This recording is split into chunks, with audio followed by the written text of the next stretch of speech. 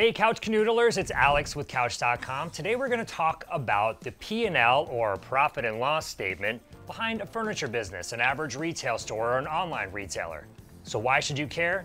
You as a customer are always curious, am I getting a good deal? Are these people raking it in hand over fist? Are they driving a Porsche while I'm driving a Honda Civic? Well, that may be the case, but the furniture business may not be all it's cracked up to be at face value. So let's break it down. Do furniture stores make a lot of money? Well, the ones that are still open do. Are you getting a good deal is ultimately the question that you want to have answered. A furniture business can be very profitable or it can be marginally profitable. But the range of profitability isn't very large. You would think with such expensive items and such an inflated perceived value that there'd be a lot of money up for grabs in the furniture industry.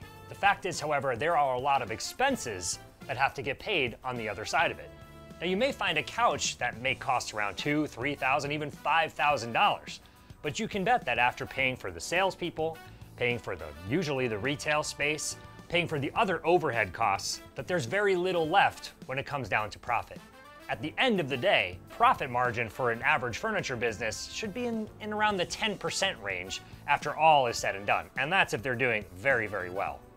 Is a furniture business profitable? Most of them are marginally profitable, yes. If they're open, I was joking about this before, but if they are still open, then yes, they're probably a little bit profitable because somebody needs to make money for a business to have, be in existence. That being said, it is very, very difficult to make money in the furniture industry, especially when you consider all of the factors and changing variables in an environment. Certain things like supply chain costs. In the pandemic, the business that I was in charge of running, we had a major shift of all of our suppliers um, and our customers. Everything sort of followed a little bit of a different pattern. Our advertising costs were a little bit different. So we sort of had to shift everything around. In the course of that shift, if you make one wrong move or take a little bit of a misstep, or certain things start to compound, you can end up taking a profitable business and moving it down into the wrong direction. What is the typical profit margin on furniture?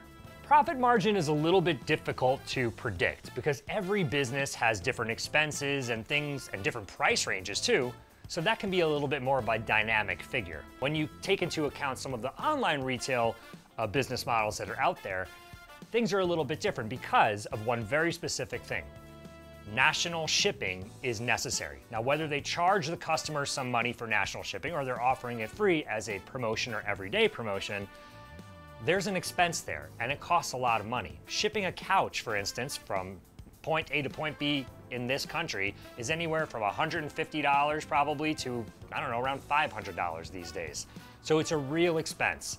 That being said, a markup on an online item may be a little bit higher and generally is than in a traditional retail store that only needs to deliver something in their local area. That same $100 item that costs $200 to the customer maybe 250 or $300 in this case.